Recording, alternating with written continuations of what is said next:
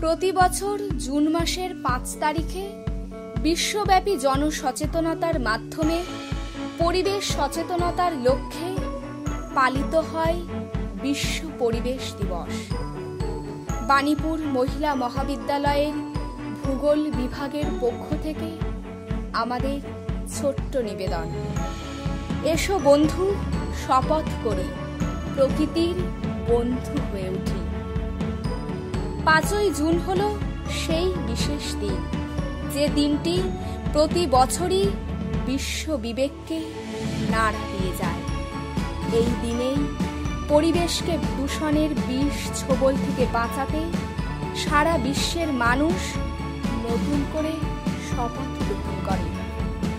পৃথিবীকে বাসযোগ্য করার অঙ্গীকারে বদ্ধ হয়। পরিবেশ মানব সভ্যতার এক গুরুত্বপূর্ণ উপাদান।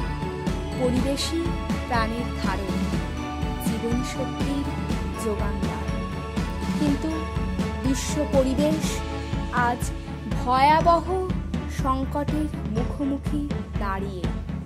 এ সংকট কোনো বিশেষ দেশের নয়, বিশেষ কোনো জাতির নয়। এ সংকট গোটা বিশ্বের।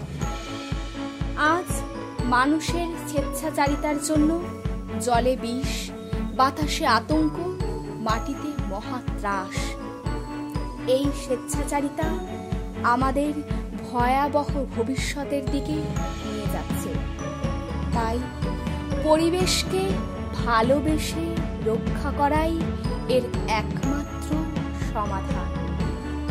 যারা পরিবেশ রক্ষা করেন, যারা পরিবেশ দূষণ প্রতিরোধ করেন, তারা নিজেকে না।